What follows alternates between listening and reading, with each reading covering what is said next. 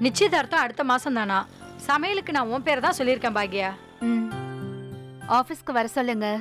என்ன டீட்டெயில்னு நானே பேசிக்கிறேன். சரியா? எனக்கு ரொம்ப தெரிஞ்சவங்க. பார்த்து ரேட்டெல்லாம் பேசு. அதிகமாலாம் சொல்ல மாட்டேன். வர சொல்லுங்க பேசுறேன். ம்? பாக்கியா இந்த மாதிரி நிறைய சமைச்சாதான் குடும்பம் நடத்த முடியும்ல? இல்லையா பின்ன?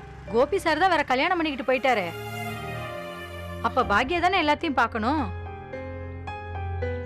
ஏன் பாக்கியா உன் பசங்கெல்லாம் பணம் தருவாங்களா? டைவர்ஸ் வாங்கும்போது பணம் லம்பா வாங்கிட்டு தான் கொடுத்தியாமே அப்படியா? பணத்தை விடு. அவர் எதிர் வீட்லயே இன்னொருத்தையோட இருக்காரு. எப்படி இதெல்லாம் உன்னால பாத்துக்கிட்டு இருக்க முடியுது? நான் அதை பார்க்கறது தவிர எனக்கு நிறைய வேலை இருக்கு. ம்? என்ன சொன்னாலும் புருஷன் இருக்கிறது ஒரு மரியாதை தானே?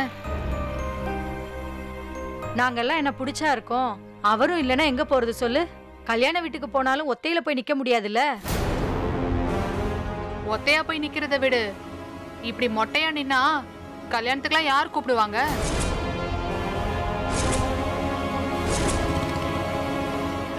நிச்சயதார்த்த ஆர்டர் கொடுப்பாங்கல்ல? வந்து கொடுக்க சொல்லுங்க. நான் பேசிக்கிறேன். ம்? வேற ஒன்றும் இல்லைல்ல?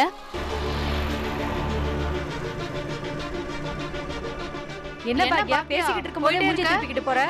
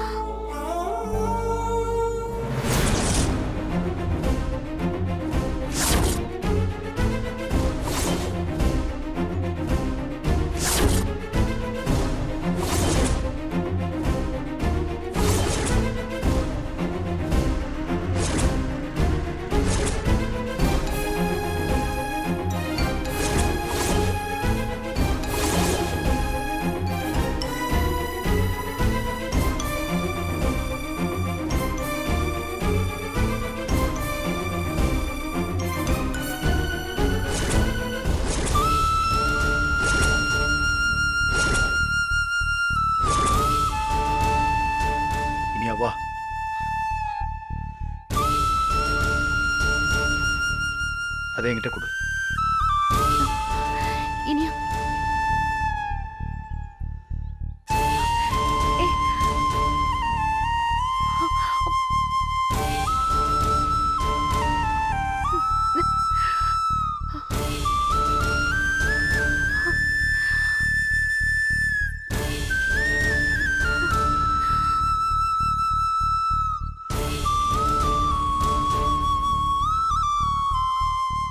வா.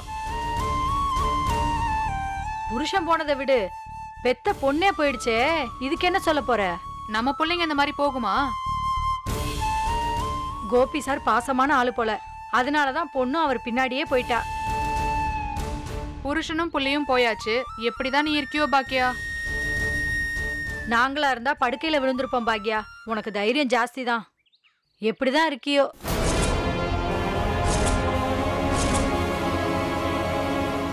யாருக்கோ நிச்சயதார்த்தம் இருக்குன்னு சொன்னீங்கல்ல?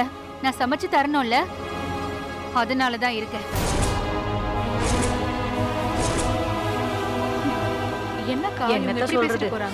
அவ வாழ்க்கை என்னமோ பண்ணட்டும்.